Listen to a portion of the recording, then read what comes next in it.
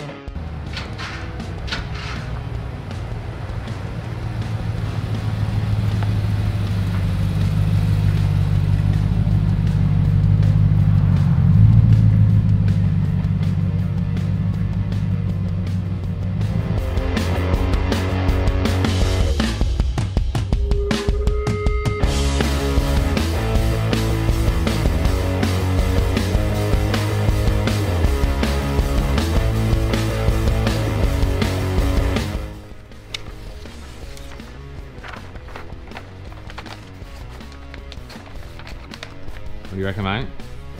Big. You told me to get it. Did the job well. nah, it's just gonna look good once it's on there. You're right.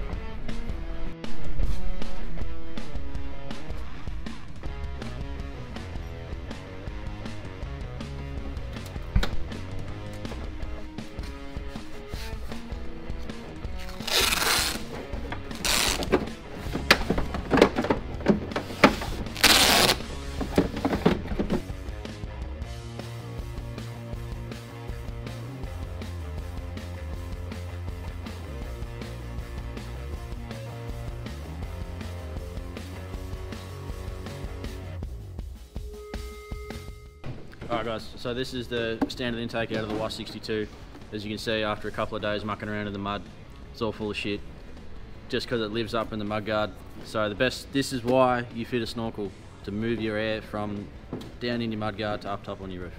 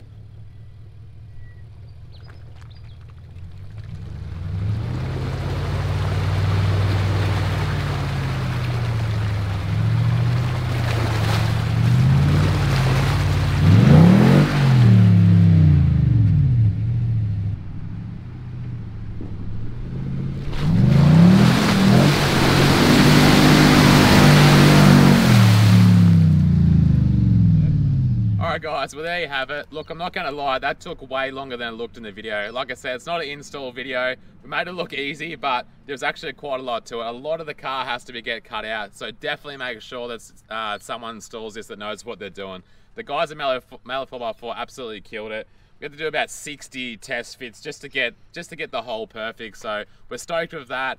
Uh, the only thing, the center rubber adapter that goes from the airbox uh, to the snorkel it's not the best thing in the world. It seals up nice, uh, that is just a temporary thing from these guys. They actually get one made at the moment that goes from the little rectangle bit on the box into the snorkel. It's from China, so like anything at the moment, it's taken a long time, but by the time you watch this video, they probably got it. So we're absolutely stoked with it. It's come up awesome. As usual, this does not uh, all happen in one take, so make sure you hang around for the uh, for the bloopers. It's always a good fun time with these guys, and we'll catch you on the next adventure. Fuck, that's hot. Melted my skin. Fuck stick. I'll just fuck up real bad.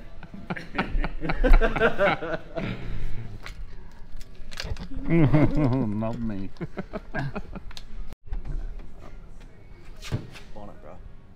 Guys, welcome back to another episode. We're heading down to.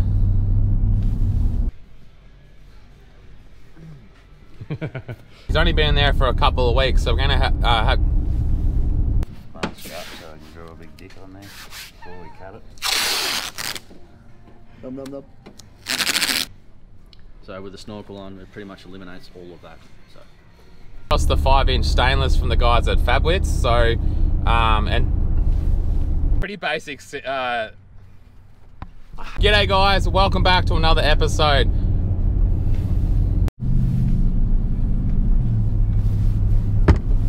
G'day guys, welcome back to 281 maybe? 281